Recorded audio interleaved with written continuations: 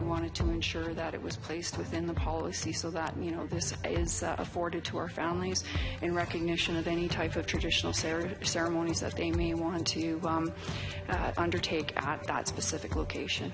Tonight, RCMP continued testimony before the National Inquiry into Missing and Murdered Indigenous Women and Girls. I think we got to make a choice whether we're going to keep going down uh, this uh, colonial Indian Act path. We speak with Miles Richardson, a candidate for National Chief for the Assembly of First Nations. We need to have non-Indigenous people also stand up for the land and waters, for their babies, and for, the, uh, for all species to come and renowned Métis artist Christi Belcourt brings uprising to Thunder Bay.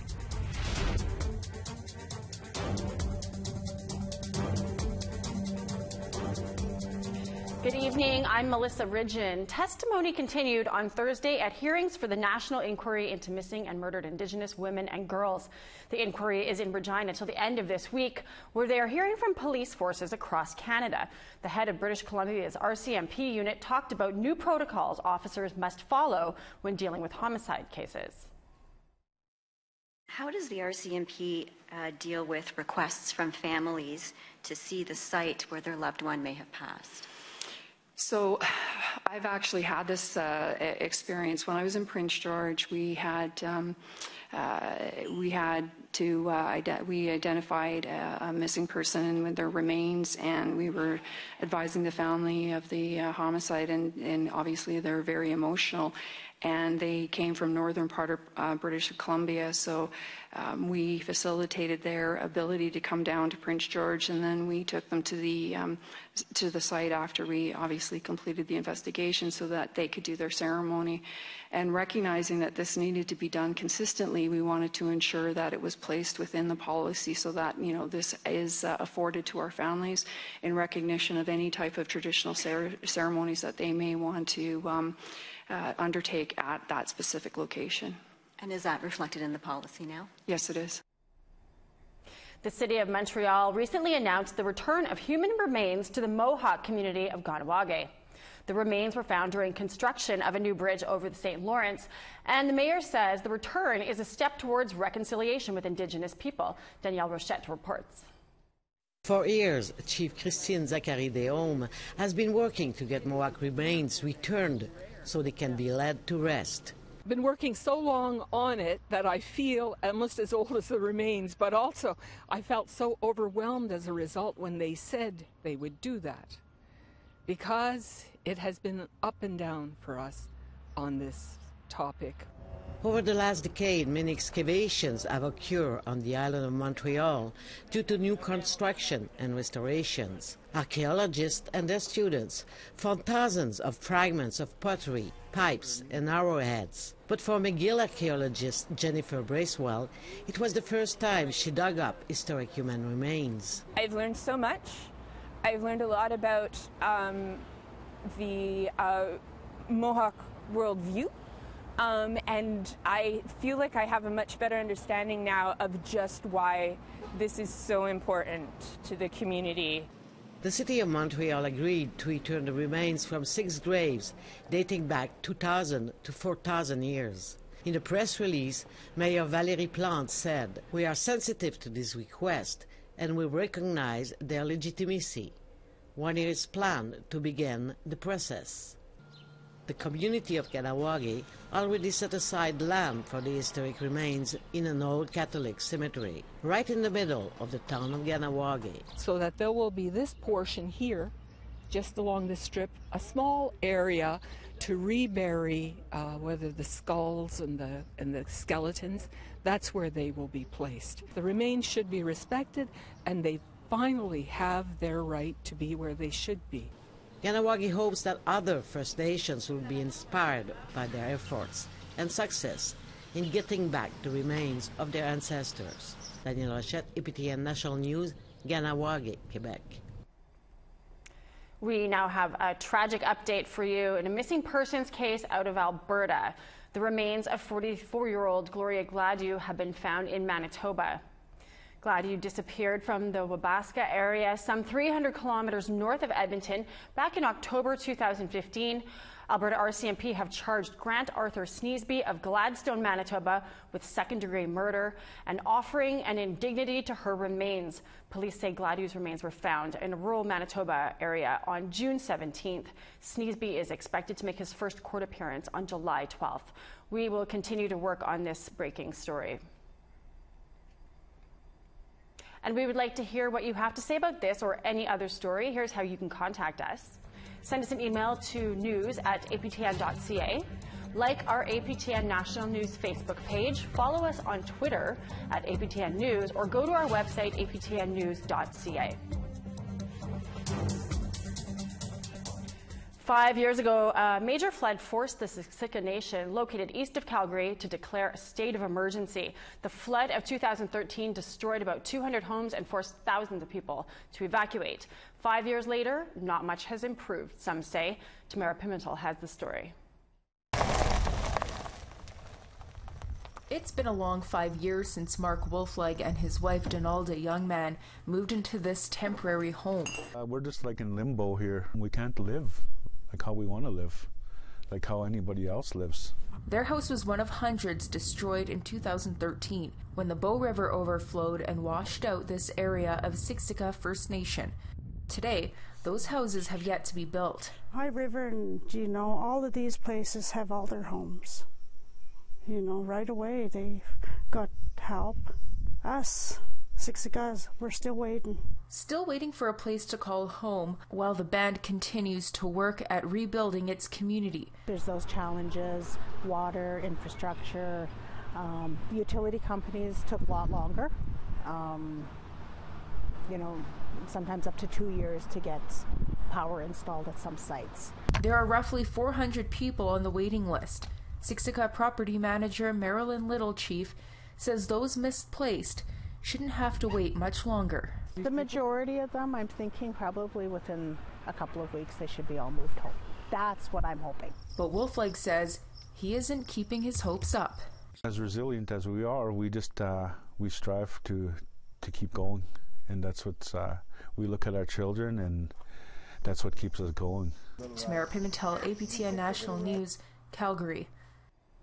After five years, the Neechi Commons food store in North Winnipeg is closing its doors tomorrow. The beleaguered co-op opened its Main Street location amid much fanfare five years ago. The state-of-the-art building housed a restaurant, an art store, a bakery, a grocery store, and office space. The restaurant was forced to close this past winter. The building was mortgaged by the Assiniboine Credit Union, and the credit union put the building up for sale a year ago. So far, it hasn't sold. We'll have more on this story for you in the coming days. Well, we have to go to a break, but we will be uh, back right after the weather starting out on the East Coast.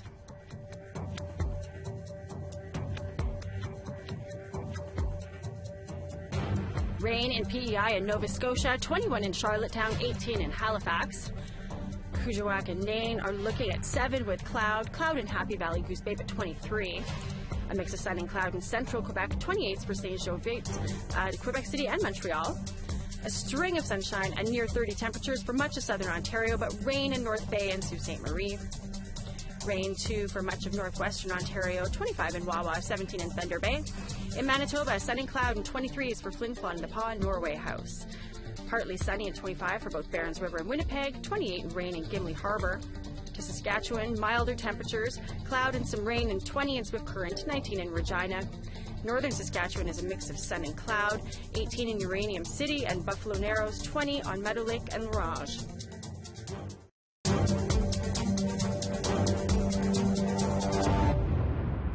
Five candidates are taking a run at the Assembly of First Nations National Chief job. APTN is chatting with each candidate to find out why they're running, and today we spoke with Miles Richardson. Thanks for joining us. Can you tell me why you've decided to run for National Chief?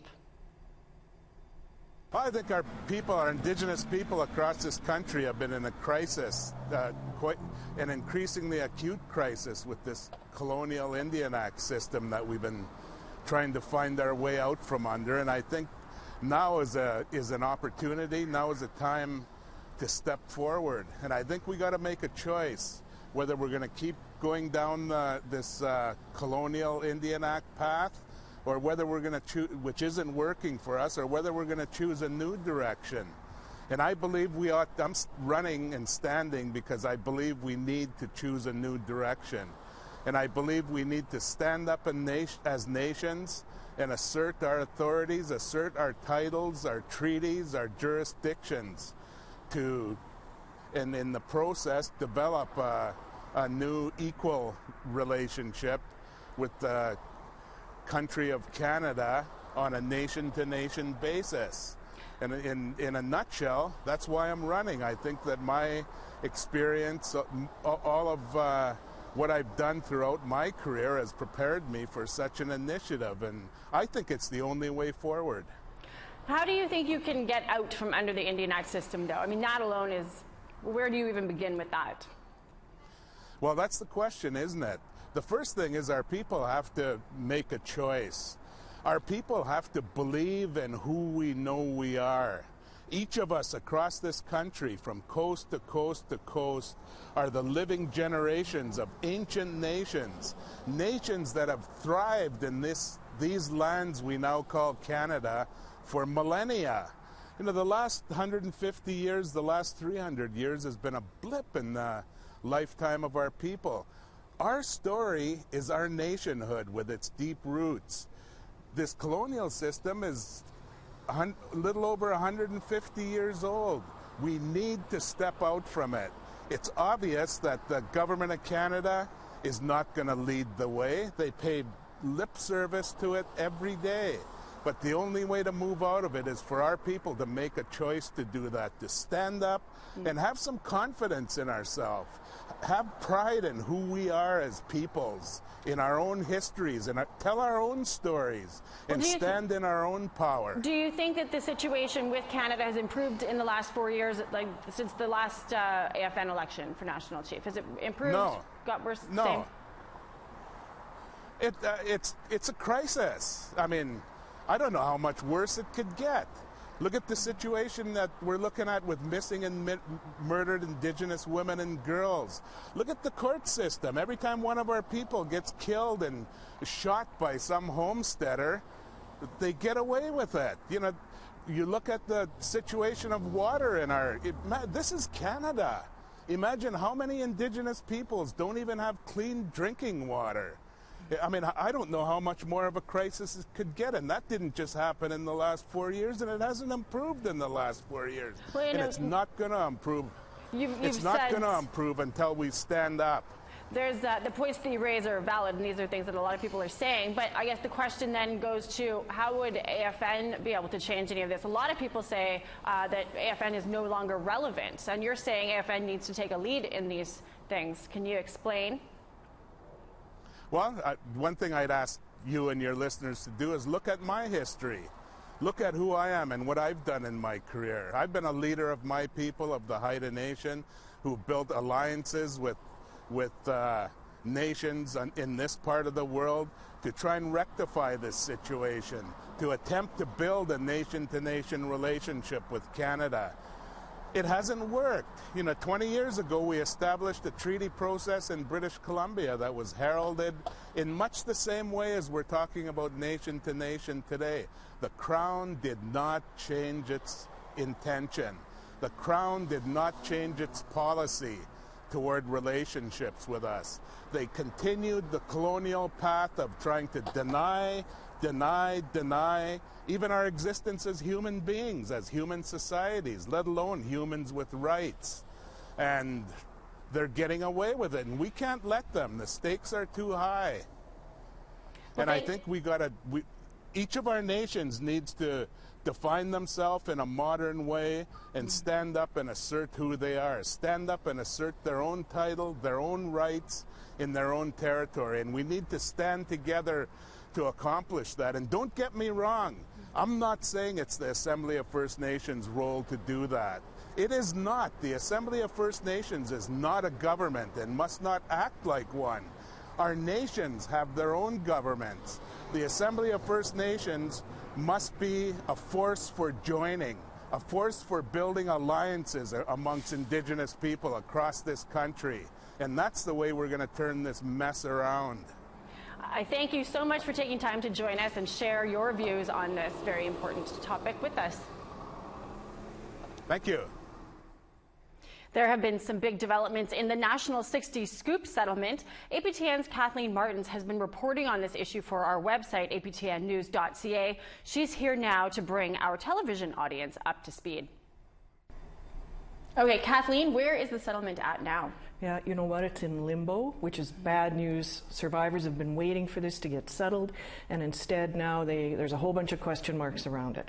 Uh, a judge decided last week he liked two thirds of it. He loved the 750 million for survivors, the 50 million to create a healing foundation. He thought great idea, but then there's 75 million for lawyers' fees he couldn't approve that. And what's the problem then with the lawyer's fees? Right. You know, normally in these big class action, these big settlements, those fees are a percentage mm-hmm. and they're generally just approved and away we go.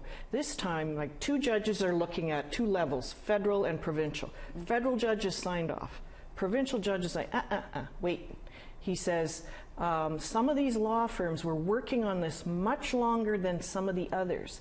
The ones who were in from the beginning deserve the fees. The ones are the late Johnny come lately? Mm-hmm. No, it's too much. They should get paid by the amount of time they invested. This is a brand new approach to doing these settlement things. Well, and this hasn't been the first time there's been problems with lawyers involved in these types of settlements. So it's interesting that we're even having this discussion then. So, but what does it mean? What does this discussion mean kind of going forward? Okay, Where so, so what it means is everything's on hold and survivors are very unhappy about that. So the judge asked the lawyers, can you guys split your fees? That means the settlement can go ahead without the lawyer fee part, and then you guys can meet with Judge separately and we'll try to hash out come to an agreement on how much you should be paid. But he's like that's too much money. Uh, the lawyers though only two of them have agreed. Two firms say yeah three firms say no. So we've got uh, kind of a standoff and so the three that say no um, what's why wouldn't they just go along with this new well, method of getting paid? Well, I think it's going to set a precedent for going forward, and that means anybody who, any firms that come in later, even bringing in a big group of, of claimants, could be affected. Their fees could be affected, and they don't feel it's necessary because there's two levels of courts here. One's federal, one's provincial. The ones in the provincial arena are like, this is fine with us let the survivors go ahead and, and let's get the settlement going. The ones that are dealing in the federal arena are like, no, that judge in provincial, he doesn't have jurisdiction over us. He shouldn't be making any decisions about how much we get paid. Mm-hmm. So it's kind of been left now that, um, and, and Canada, like the federal minister involved, Carolyn Bennett, she agrees. She's like, you guys split your fees out of the settlement and let's let it go ahead. And they call that delinking. Mm-hmm. And uh, they, like I say, the two say yes, three say no. So the minister and the survivors want the lawyers to do this delinking, mm-hmm. but uh, these firms so far are holding fast. Mm-hmm. Um, although I have heard that uh, they're going to meet with the federal judge very soon to see if he can maybe get this impasse cleared up. I think everybody wants it to go forward, yeah. uh, but um, you know we're going to see. It's very interesting. So we will see, and we'll have you back to explain how it all shakes down. Thank okay. you so much for joining me. My pleasure. Time for more weather and then a short break, but stick with us because we have more news to come.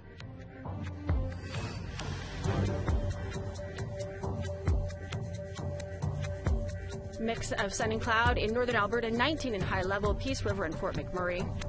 Same further south, uh, 22 in Edmonton, 19 in Red Deer, but rain in Calgary at 18. We've got warmth in the interior, 25 for Kamloops and Penticton, 16 in Port Hardy and Tofino on the coast. 16 and some sun in Dease Lake, 18 in Smithers, 20 in Prince George. Cloud and 13 in Rock River, 20 and cloud in Dawson City and cloud in Watson Lake. Quite a bit of sun for the Northwest Territories, 19 in Norman Wells, 20 in Trout Lake. Sachs Harbor is going to be 10, Colville Lake 13, 17 in Deline, 11 in Baker Lake, Whale Cove 8 in Arabia, Arviat, and lots of sunshine for those communities. Same in Resolute and 8, but over in Iqaluit, rain and only 5 degrees.